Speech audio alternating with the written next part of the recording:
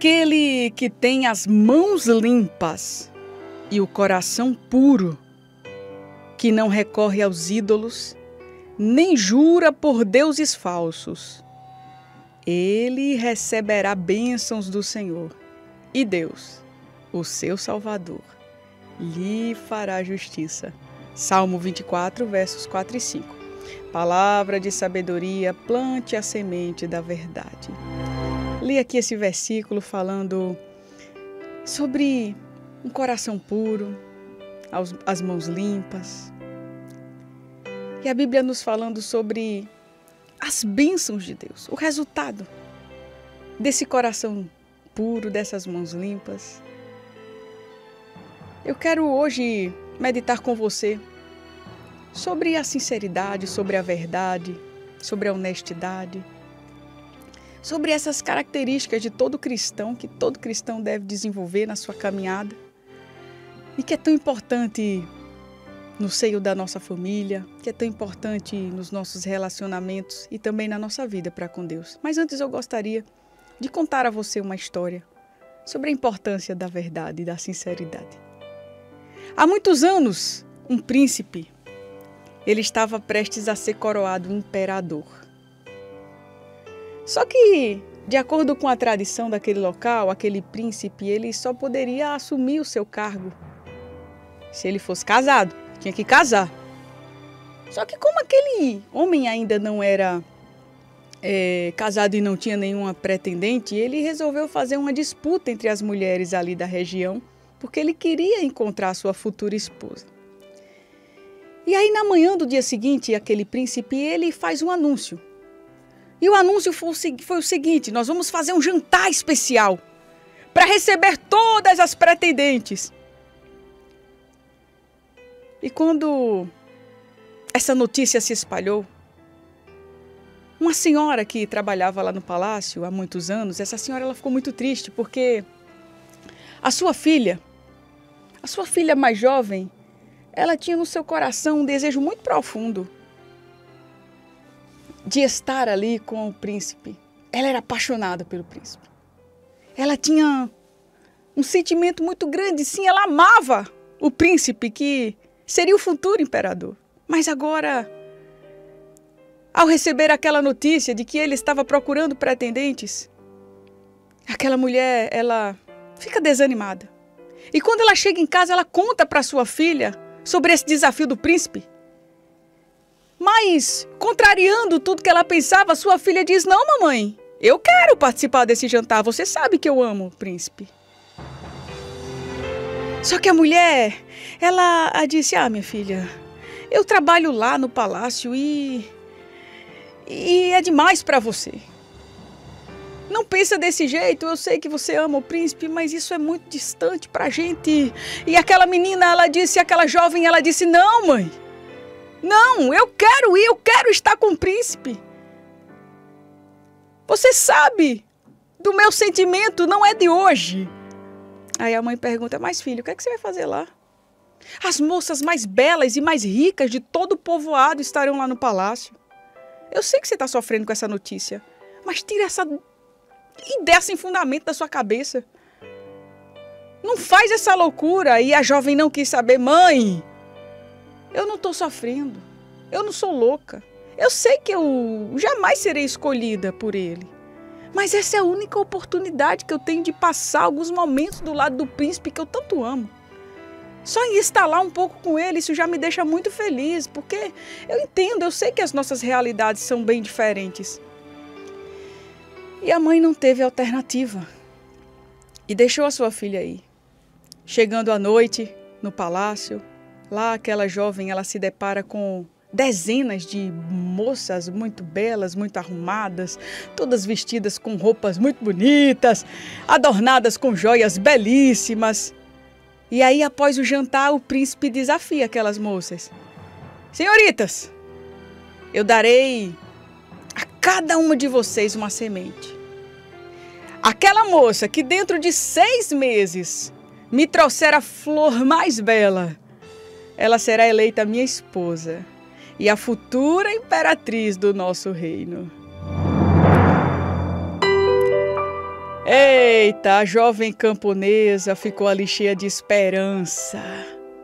Ela não entendia muito de jardinagem, ela não entendia muito de flor, mas ela pegou aquela semente com muita alegria e com muita fé. E ela disse: Eu vou plantar. Ela comprou um belo vaso e todos os dias ela regava aquela, aquela terra para que a semente pudesse brotar. Ela adubava e, a, além de tudo, ela também orava. E ela dizia: Senhor meu Deus, se for da tua vontade, faça com que essa flor ela nasça na mesma proporção do meu amor para, para o príncipe. E essa oração se repetiu todos os dias: Senhor, se for da tua vontade, faça com que essa flor ela nasça na mesma proporção do meu amor pelo príncipe. Três meses se passaram e nada aconteceu. E a jovem tentou de tudo, tentou de todos os adubos, mas a flor, a flor ela não brotava. E aquela jovem ela começou a ver o seu sonho cada dia mais distante. E aí o prazo de seis meses acabou. O prazo em que todas as jovens, as donzelas que estavam disputando o casamento com o príncipe, deveriam voltar e apresentar o, o que a sua semente né, tinha vingado. Pois bem, e chegou o grande dia e a moça ela disse: Mãe, minha flor não nasceu. Deus quis assim mas eu vou ao palácio. Ainda assim, eu, eu vou até lá porque eu posso não ser a futura esposa do príncipe, mas eu vou cumprir até o fim. Eu vou ter a chance de passar mais alguns minutos ao seu lado. E na hora marcada a jovem estava lá, assim como todas as pretendentes. Só que aquela jovem estava ali frustrada, desanimada, desanimada. Ela estava carregando apenas um vaso cheio de terra e mais nada. As outras jovens não, estavam carregando flores belíssimas, uma flor mais bonita do que a outra. E aquela jovem, ela permanecia lá com o seu vaso, sem nada dentro, porque nada brotou. Quando ela olha para a porta do salão entre o príncipe, ela estava muito chateada, mas ainda assim permaneceu lá. O príncipe deu início à cerimônia. E ele passou ali por todas as moças e quando viu aquela jovem com o vaso sem a flor, ele anuncia: Esta jovem aí, ela é a vencedora do desafio. E todo mundo ficou surpreso com a decisão do príncipe. Ora, ninguém co conseguiu o porquê dele ter ignorado tantas flores bonitas, tantas flores belas, para ir até alguém que sequer conseguiu cultivar a sua semente. Será que o príncipe não viu tantas flores tão belas? E ele escolheu aquela que estava apenas com um vaso sem nada dentro. Nada brotou. Então, o príncipe, com um ar muito sereno, ele esclareceu. E assim ele falou: Desde que eu lancei esse desafio, eu pedi a Deus que ele me trouxesse uma mulher digna e que tivesse um coração semelhante ao dele. E essa moça, ela foi a única que cultivou a flor, que a fez merecedora de ser uma imperatriz. Ela cultivou a flor da verdade. Ela cultivou a flor da sinceridade. Ela cultivou a flor da honestidade. Porque todas as sementes que eu distribuí, elas eram sementes estéreis.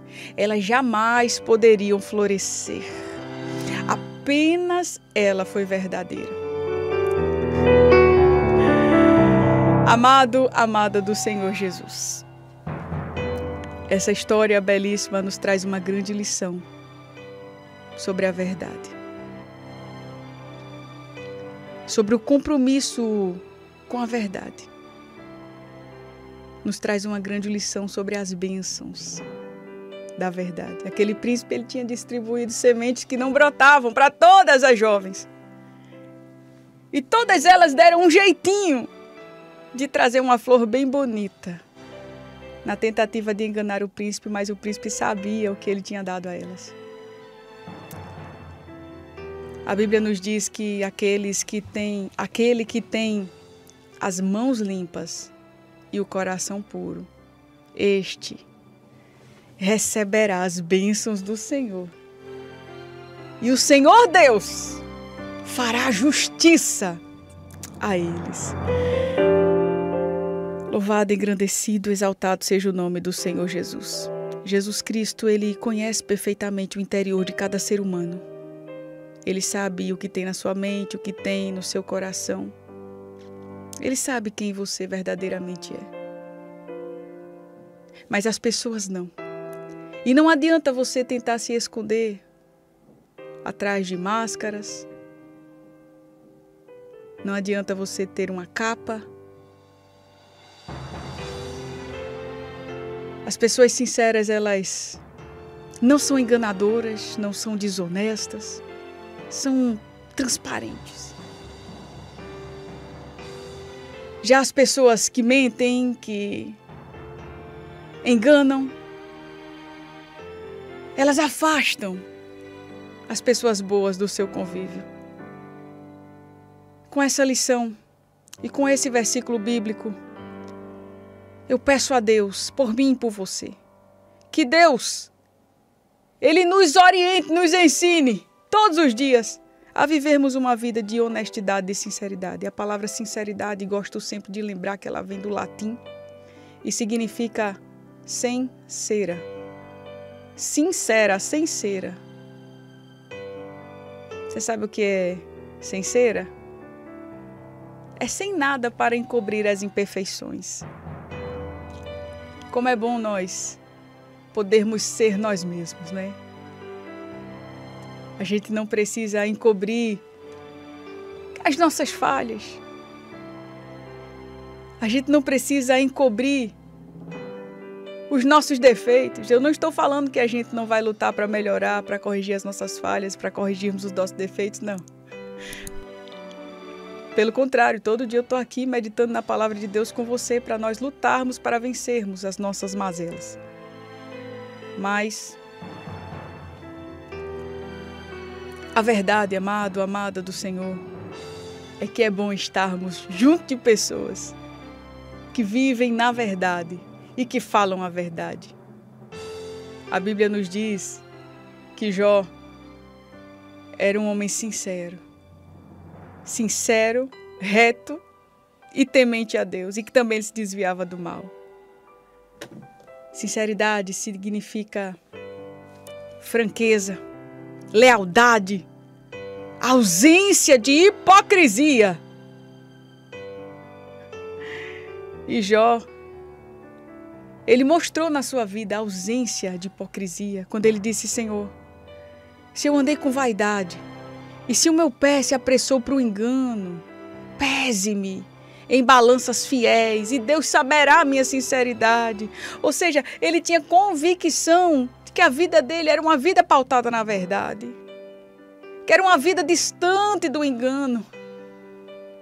Davi, Davi ele também se comprometeu com Deus, a andar com sinceridade. Ele disse assim: Senhor, eu andarei em minha casa com um coração sincero, e eu não porei coisas más diante dos meus olhos, e ainda aborreço as ações daqueles que se desviam. Olha que coisa linda. Amado, amada do Senhor, nós temos um Deus que é a verdade e que ama a verdade. Não adianta você se esconder. Não adianta você tentar enganar. Ou pior, tentar enganar a si mesmo. Que Deus te abençoe. Que Deus te ajude. Que nós possamos imitar o bom exemplo desses homens de Deus exemplo de comportamento sincero no meio dessa geração. No meio de uma geração, como diz a palavra do Senhor, corrompida e perversa. Que Deus te ajude. Guarda esta palavra no teu coração e se tu uma bênção para a glória do nome de Jesus. Amém.